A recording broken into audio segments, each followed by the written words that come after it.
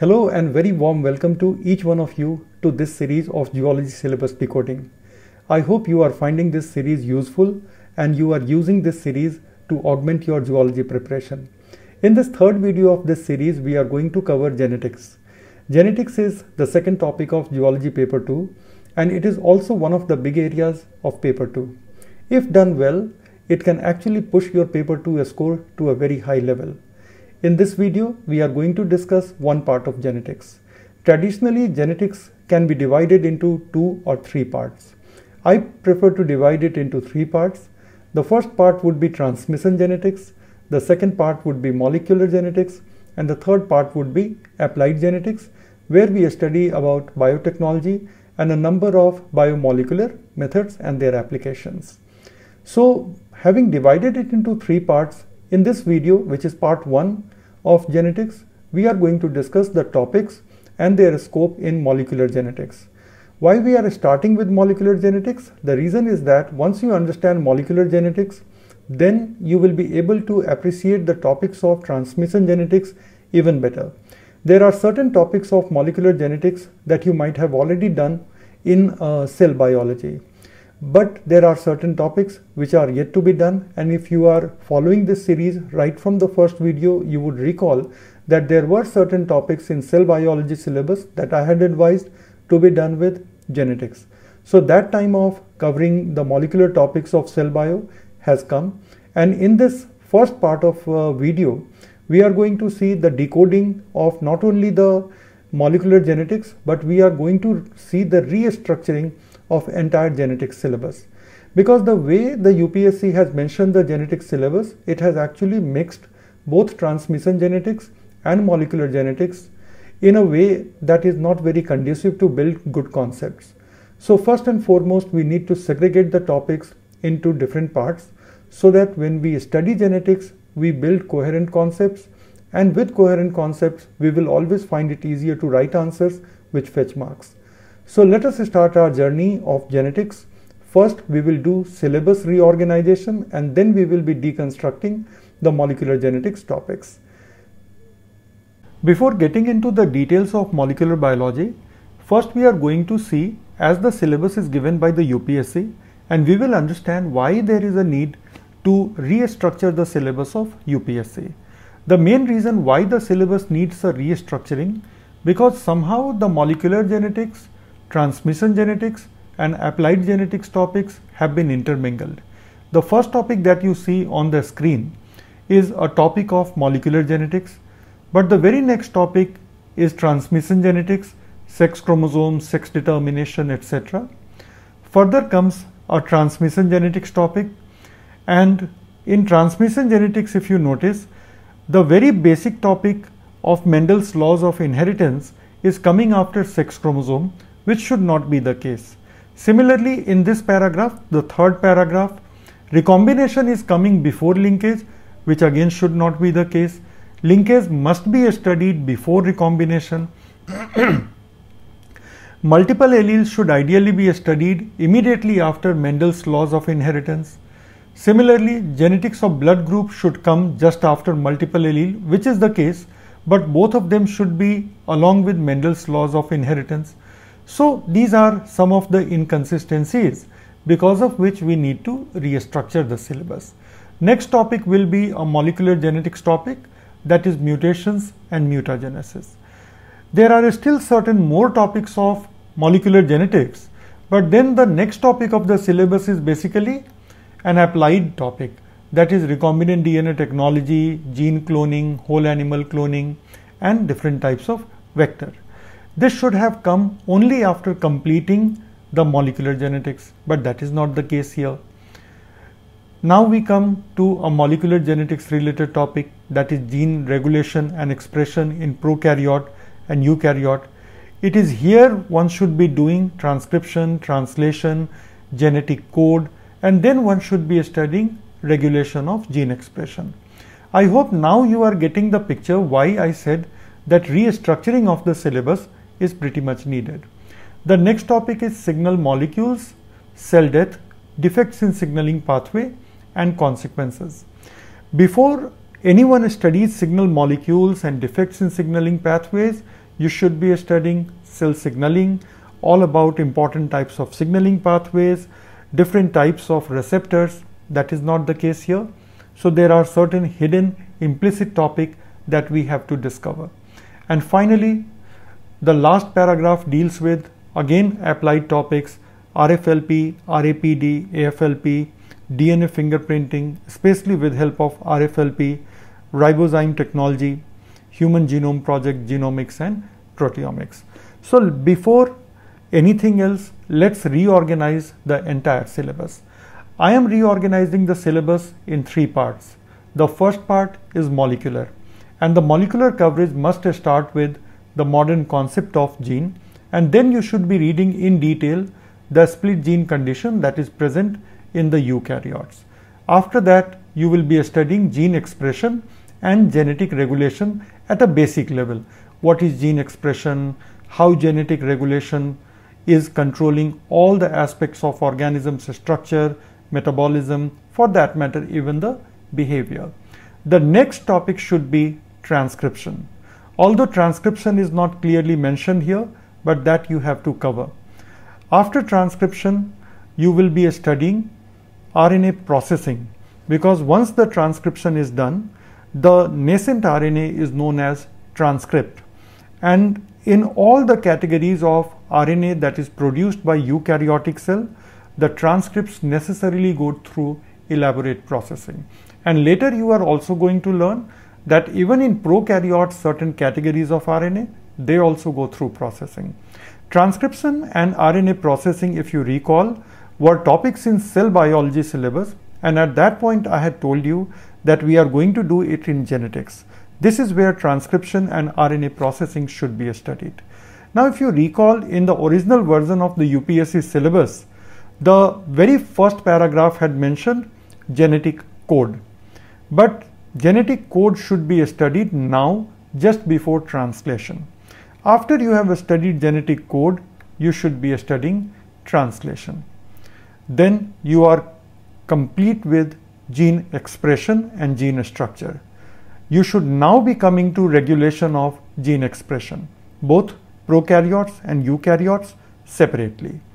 Next topic can then be DNA motif, which are evolutionarily conserved pieces of DNA that you find at many places within the same genome and also in many different organisms genome. This is again a topic in the cell biology syllabus according to the UPSC's original plan, but logically you should be covering it under genetics after doing these many topics. Then as one of the later topics in genetics, you should be doing mutations and mutagenesis. After this, you should be doing cell signaling. It is not an explicitly mentioned topic, but before you come to signaling molecules and for that matter defects in signaling pathway, cell signaling is an important topic to be done. Now you can deal with signal molecules, defects in signaling pathways and their consequences. Finally, you will be completing your molecular biology with cell death. When you study cell death, remember it is also a topic mentioned in developmental biology. So when you are doing cell death here, do it in a manner that you do not need to do it in developmental biology section. After this, you will come to transmission genetics. This is the second part of genetics. It is a smaller with rather limited number of topics. The first topic, Mendel's laws of inheritance. After that, multiple alleles. Then you should be doing, uh, this is a mistake, uh, recombination should not be here. Then you should be doing uh, genetics of blood groups. Then you should do linkage, recombination, sex determination in Drosophila and man. And if you are preparing for Indian Forest Service examination, you should also be doing know, sex determination in nematodes with example of Caenorhabditis elegans. Next topic, after doing all of these, you should be doing pedigree analysis. I would like to tell you why we are doing pedigree analysis after doing all of these because in pedigree analysis, there are a number of patterns which arise because of sex linked inheritance. And when you are doing sex linked inheritance, it is obvious that you will be doing it after doing sex chromosomes and sex determination. Hence, the place of pedigree analysis is here. After this, you should be doing hereditary diseases in men and that, that will complete the transmission genetics.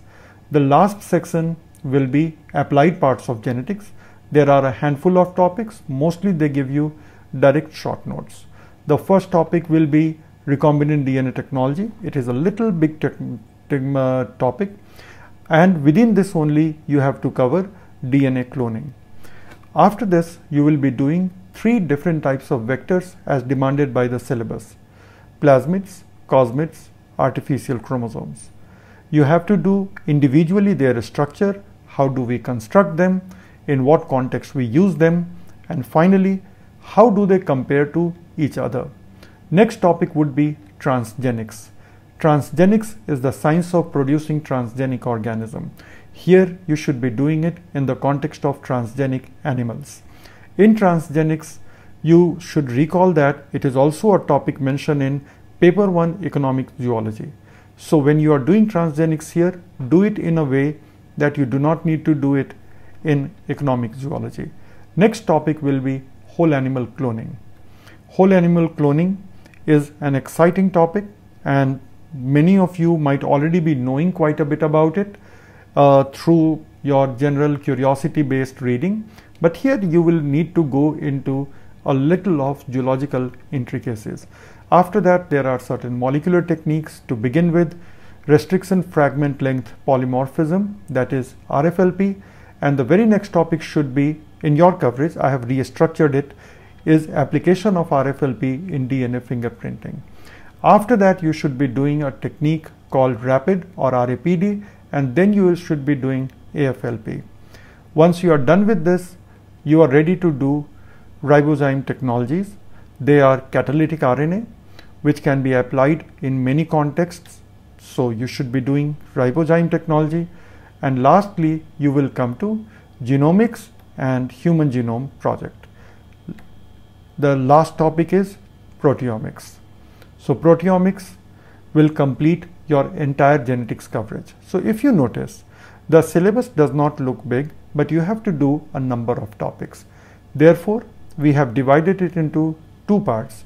In part one, we are going to study molecular genetics, their topics, their scope. The first topic, as I had mentioned, is modern concept of genes.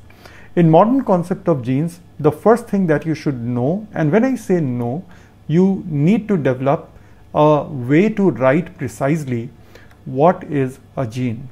Trust me, most of the student write very bad definition of gene.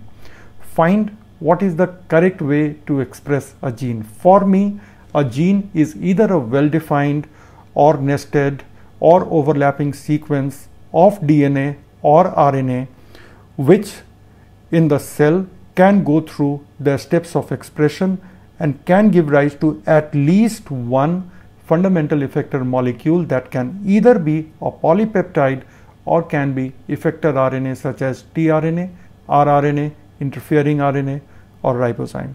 There are a number of nuances in this definition. I have used many such expressions which need explanation, but that will be for some other time or you should be exploring what each word used in this definition actually implies. After that, you will be coming to gene structure in prokaryotes. Gene structure in prokaryotes, if you notice, is highlighted in yellow. That means it can be asked to you as a separate question. Throughout this presentation, anything that is highlighted in yellow, remember that it can be asked to you as a standalone question. In gene structure in prokaryotes, you have to study the operon structure. Operon structures were first found by Jacob and Monod in Escherichia coli when they were studying how Escherichia coli catabolizes lactose. And they found that functionally related genes are clustered together in E. coli. Subsequent workers found that it is the case in a number of other genes in E. coli and subsequent workers found that it is the case for most of the genes in most of the bacteria. Once you are done with gene structure in prokaryotes, which is essentially operons, then you should be coming to eukaryotic gene structure. Eukaryotic gene structure is incredibly more complex compared to prokaryotes. There are many types of promoter elements, there are many types of promoter themselves, then there are certain proximal elements, then there are faraway elements, and they all are treated in modern genetics literature as part of the gene structure. You need to be aware of all of these. Unfortunately, most of the Indian textbooks do not give you even an idea of this. You need to find out. Then you have to do split genes. What are split genes? How are they constructed in eukaryotes? So on. And later we are going to do a split gene as a separate topic itself. After split gene, you should be doing the basic of promoter structure in both eukaryotes and prokaryotes. Finally, the major parts of eukaryotic genes. These are the things that you ought to be doing in this topic and you will be ending this topic with a tabular difference in gene structure between prokaryotes, eukaryotes and mark it all the things listed in yellow have a potential or have a history of having been asked as a standalone short note. You need to be prepared with that. After that, the next topic is split genes. Like anything else, you need to be prepared with what are split genes, where are they found, that's occurrence, and incidentally, split genes, their discovery has quite a story. How Philip Sharp, Richard Roberts conducted an experiment where they found R loop structure, and that was the clinching evidence how the eukaryotic genes have a split structure. This has been asked in the IFS examination. You need to pay attention to this. After this, how are the split genes are constructed? All of them are yellow. It means even for 10 marks, very short note, but it has a real possibility of getting asked, prepare it independently. After that, what is the impact of split gene condition on gene expression? And as you all know that split genes are primarily because of the presence of introns, you need to know what, how, what are the types, how many types of introns are there. These are all independent question within the split gene topic. Then you should be doing briefly the origin of introns and introns despite being non-encoding sequences they still have a significant role to play. So what is the significance of intron? All of this must be known to you then you will be coming to a general idea of gene expression. And here you are going to first deal with what do we mean by gene expression. Again, your definition not only defines the topic, your definition defines you also. That means what quality of understanding, what clarity of the topic you possess. So be very careful about definitions and get from the best of the books the most concise but most complete definition. So gene expression is a sequence of cellular events that takes place to use the genetic encoded information to give rise to a fundamental effector molecule. It can be a catalytic or effector RNA or it can be a polypeptide. That's how you have to explain what's a gene expression. What is gene expression? And then you will come to talk about central dogma and its modifications. What is it? How was it modified? Who modified it? What finding modified the central dogma? And then you will be coming to steps in gene expression of prokaryote. You will repeat it with the steps of gene expression in eukaryotes. And for Indian Forest Service examination, also add a small note on steps in gene expression in the retroviruses because they give you a completely different picture of gene expression.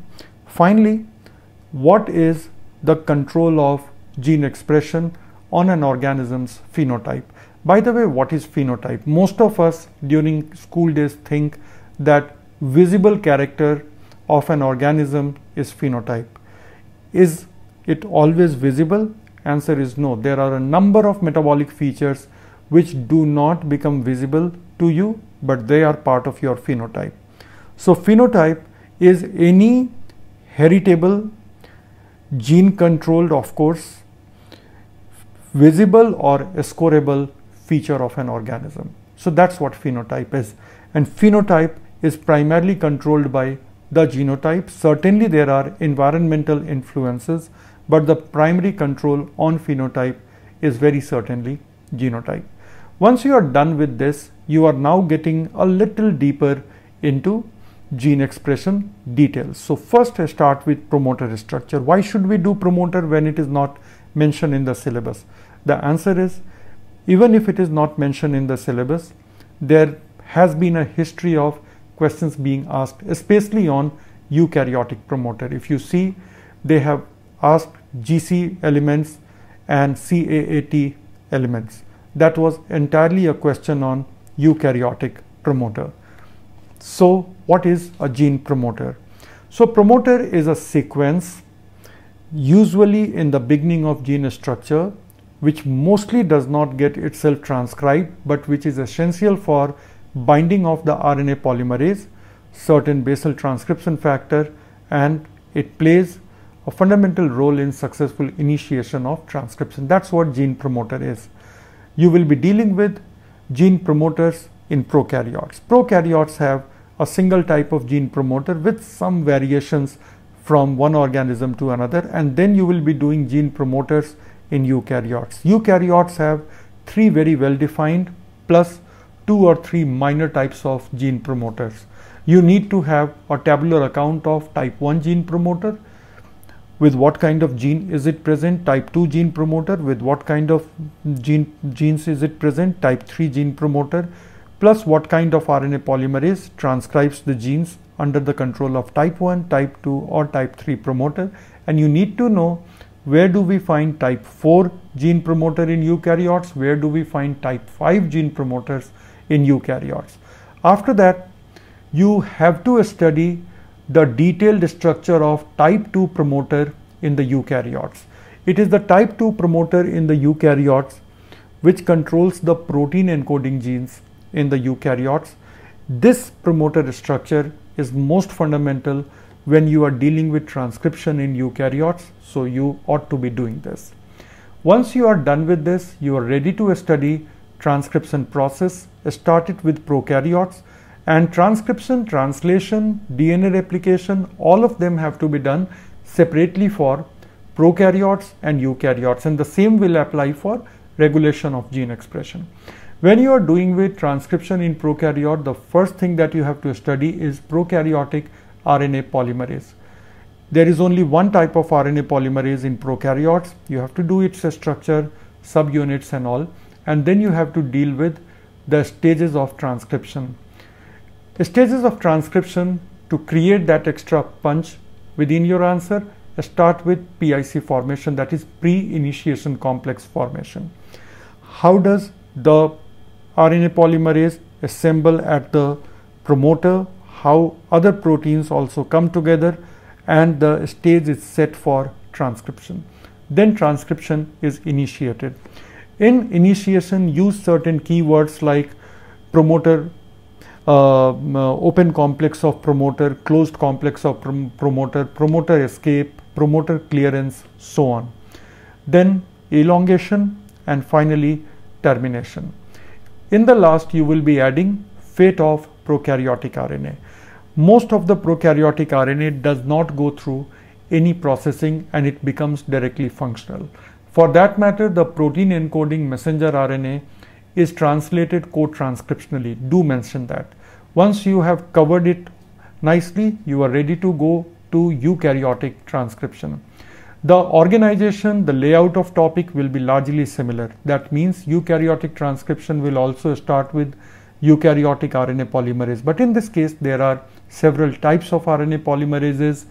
So what are the types? Where are they located?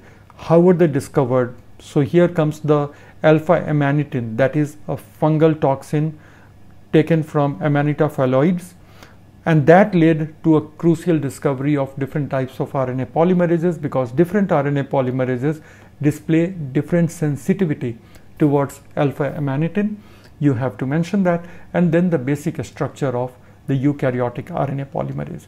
After that, do basal transcription factors. These are the transcription factors without which in the eukaryotes transcription won't be taking place. You need to do them. Then the steps. Stages are same, PIC formation, initiation, elongation and termination. Eventually fates of RNA. In eukaryotes, majority of the RNA get processed and that is going to be the next topic also RNA processing. Define what is RNA processing.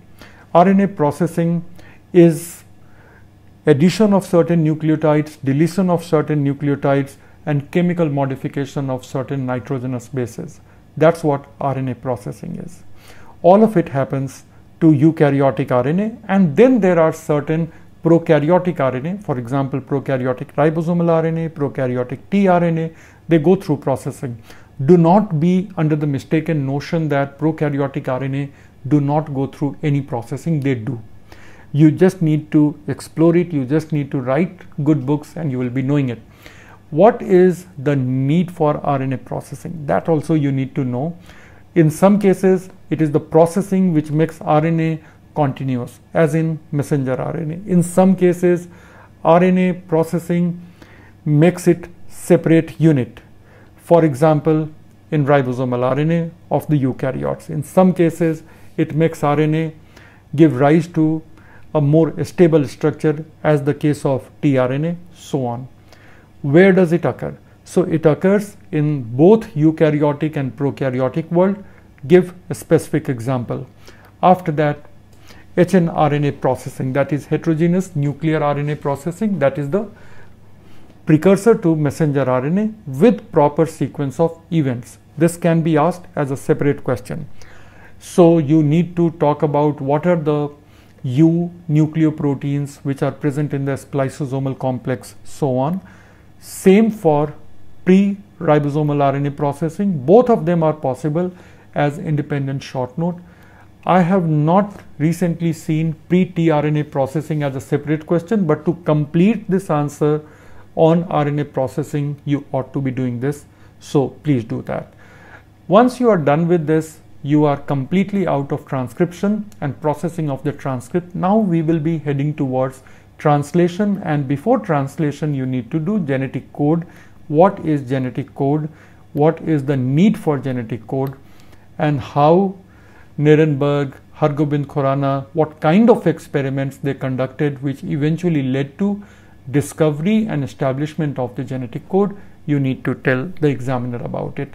Remember, examiner knows everything, but he wants to hear it from you. He or she wants to hear it from you because that is the only way the examiner is going to assess your preparedness. So, how it was discovered, and then features and salient characters so here you are going to talk about that they are triplet, they are non-overlapping, they are commaless, they are almost universal, there is redundancy, so on. After this, universality at the same time exception. So you know that in most of the cases, the genetic code is universal. It means that from E. coli to elephant, the same genetic code operates, but at the same time, there are exceptions. What are the exceptions? Look at the mitochondrial gene expression system. Within the mitochondria, there are a number of codons which do not behave as per the standard table of genetic code. You need to know all of this. After that, come to translation. First, define what is translation. So, translation is the terminal event in the expression of protein encoding genes which utilize encoded codon information of messenger RNA to determine the sequence of amino acid polymerization by the catalytic action of peptidyl transferase center of ribosome. That's how translation is defined. In translation, quickly review prokaryotic ribosome structure from your cell biology knowledge. You have apparently done it already. Then do tRNA structure and then do in detail the prokaryotic translation factor. What are the initiation factors, what are the elongation factors, what are the release factors, and what are the recycling factors. And then stages. Here PIC formation will mean how does ribosome assemble on the tRNA. Uh, I'm sorry, mRNA. And then initiation, elongation and termination. Similar structure you can follow on uh, in case of translation in eukaryote that will mean do eukaryotic ribosome, do eukaryotic translation factor. Thankfully there are there, there are great number of similarities between eukaryotic and prokaryotic translation factor so it is not going to be something very difficult for you. Nonetheless there are certain extra translation factors at the level of initiation. There is one translation factor less. During the release time you need to pay attention to each one of them. And then the same four stages of translation. After this you should be coming to gene expression regulation divide it into three parts general, prokaryotic, and eukaryotic. In general, what is gene expression regulation? Again, very high quality, all encompassing definition. Then go for the need, why gene expression is needed, why it is crucial for environmental response in the correct way, how it is responsible for the developmental needs of the, developmental transitions of the organism and how it prevents lot of metabolic wastage. And then you should be coming to types of genes based on regulation. For example genes which are constitutively expressing versus genes which are regulated. Similarly genes which are positively controlled versus the genes which are negatively controlled. Genes which are inducible and genes which are repressible get hold of all these terminology, all these basics before moving to gene expression regulation in prokaryotes. And here you simply have to know the mechanisms and do not commit the mistake of thinking that only operon based control has to be done. Yes, it has to be done. So many questions have been asked to asked in the examination on this, but you have to go into attenuation, tryptophan operon also in detail. Tryptophan operon has been asked in civil service mains as well as IFS main can't be avoided. It is slightly complex, but with some attention, with some assistance, you can do it. And to complete this answer on gene expression regulation in prokaryotes, do alternate sigma factor based control, do two factor based control, do antisense RNA based control, do ribozyme based control, and do riboswitch based control. All of these controls need to be done. Once you have covered all of this and in detail operon based and attenuation, you should be doing gene expression regulation in eukaryotes. Start with genome level control. Eukaryotes can even change their genome by amplifying certain gene, by deleting certain gene, by reorganizing certain genes, and not only that, by reorganizing the order of exons within the gene. These are all permanent genome level changes that eukaryotes can bring about, do them. After that, control by genomic packaging.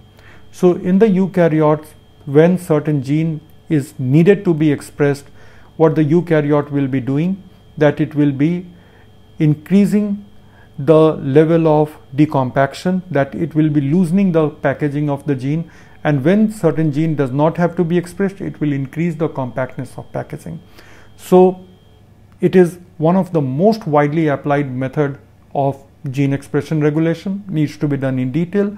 After this, you should be doing transcriptional control and that too in some detail. Then you will be coming to RNA processing level control. These are the additional levels of control that you do not find really in prokaryotes. In this case, you will be doing alternate splicing, RNA editing and RNA tail addition that is known as RNA tailing.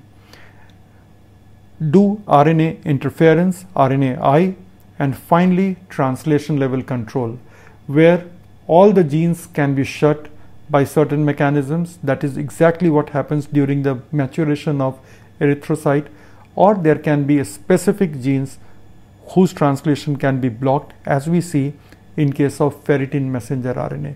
Use the mechanism uh, then give the examples. Now you are ready to do DNA motif. So what are DNA motifs? What are the types of DNA motifs?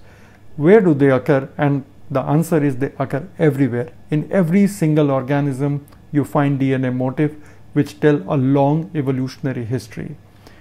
After this, what is the purpose served by them and how have they evolved. That will be all about DNA motif. You don't have to do anything more than that. Move to the next topic which is a little big that's signaling.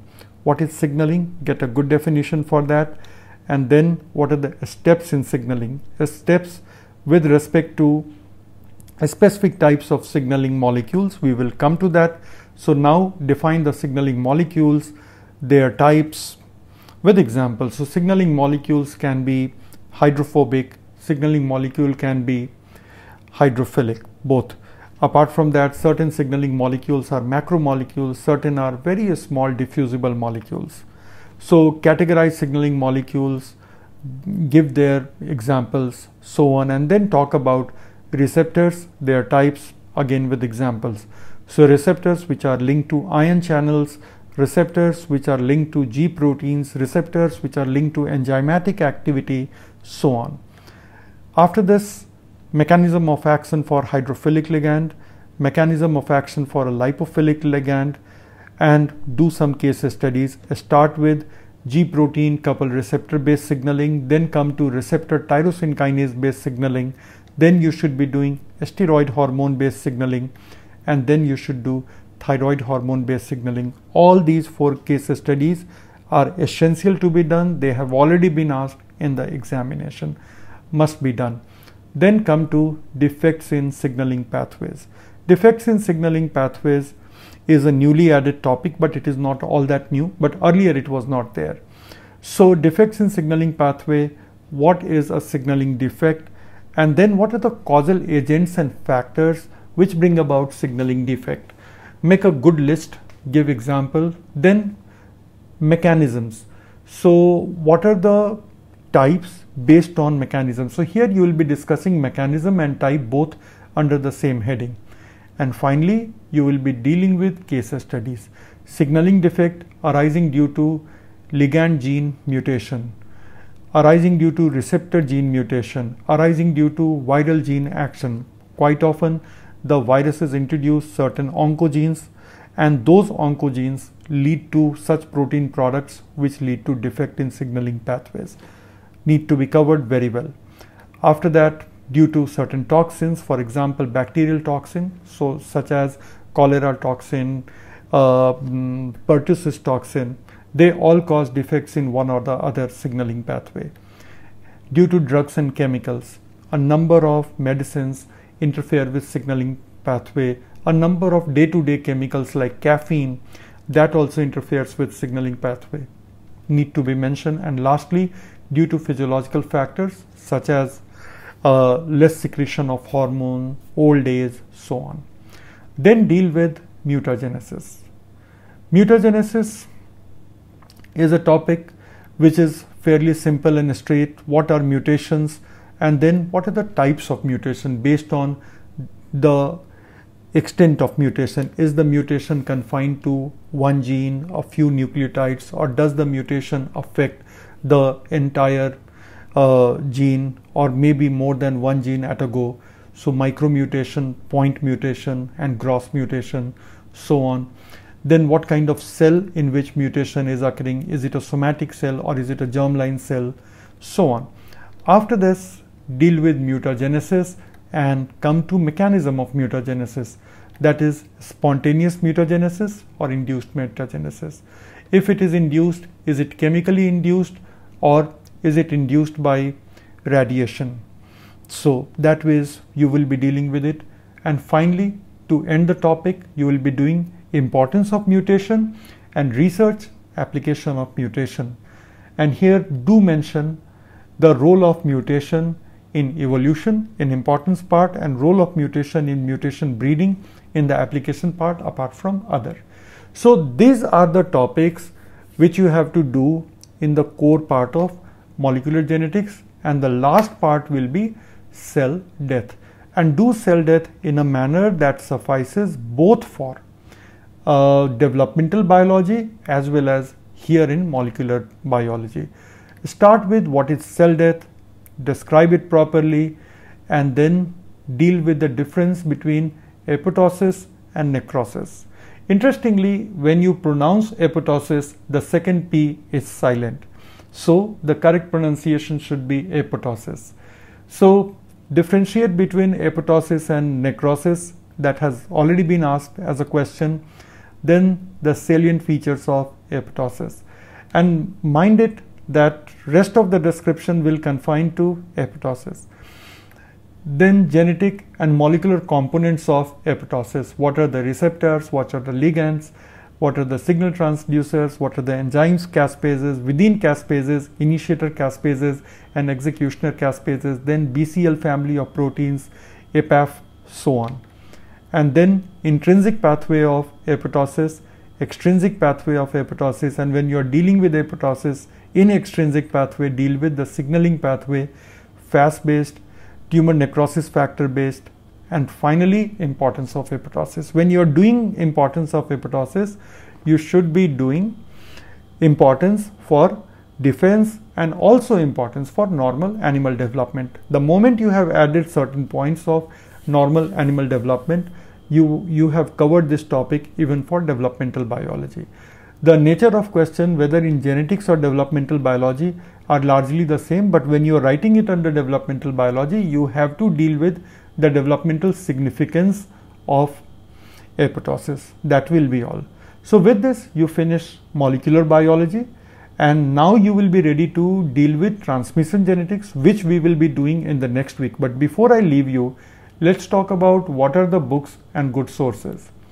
As always i am going to give you three sources an Indian book, an international book, and very certainly my own, that is evolution's study material on this. So, Indian book, those who have seen my previous video uh, on cell biology, uh, so you already know that uh, I like and recommend the cell biology, genetics, small bio, evolution and ecology book by Dr. P.S. Verma and V.K. Agarwal. Among the Indian books, I would say that this is perhaps the best book. There might be a better book, but I have not come across this. So I will say that's it, that it is among the Indian books. I'm not saying it is the best book I have come across. There are many books in cell biogenetics which are infinitely superior to this book. But among the Indian books, it is easy to grasp in simple, organized language. But of course, a lot of updations are not there if you care for updations if you care for very high quality drawings very high quality examples definitions and absolutely a higher level of understanding this is the source. Concepts of genetics 11th edition or later by Klug and Cummings. So in the recent edition other authors have also joined the team. So Charlotte Spencer and Michael Palladino have also joined. It is a classic among the genetics textbook globally. There are other books also, Gardner, Simonson, Snustad are there, Griffith are there, but this book is in a different league. It is simple, but at the same time, it is very rigorously written. And combining the organization of an Indian book and rigor and high quality information from international book is my study material.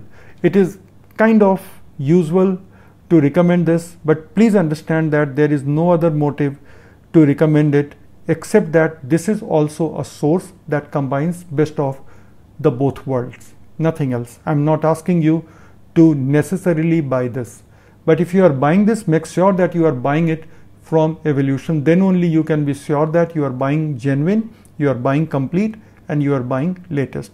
Else, you are good with either P.S. Verma book or Klug and Cummings.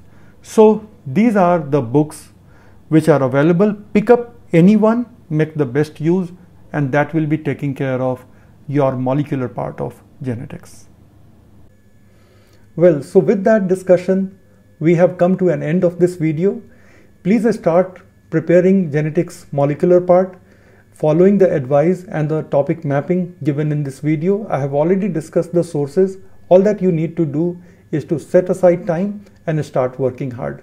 If at any point of time you think my assistance as a teacher is needed through a study material, mentoring, or online or offline classes, please feel free to get in touch with Evolution. This is what we have been doing for last 16 years and remarkably well. So on that note, I would sign off. Goodbye and good luck to all of you and I hope you stay safe in these extraordinary times. Till we meet again. Bye bye.